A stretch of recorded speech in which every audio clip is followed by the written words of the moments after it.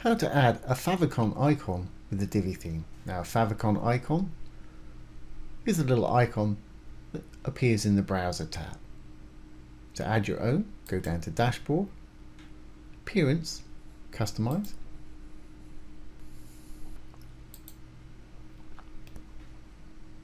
That'll take you to this page. Go up to the general settings, site identity at the top. This is also where you can set your site title and tagline. And here's where we put the site icon in. It recommends it, it needs to be minimum of 512 by 512 pixels. Hit the select site icon.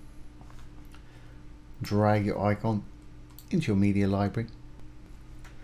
Hit select. When you're happy, hit crop image and hit the publish. And you may have noticed it's up there already. If we go back to our main site and refresh, there it is right there. There's how to set the favicon with the Divi theme.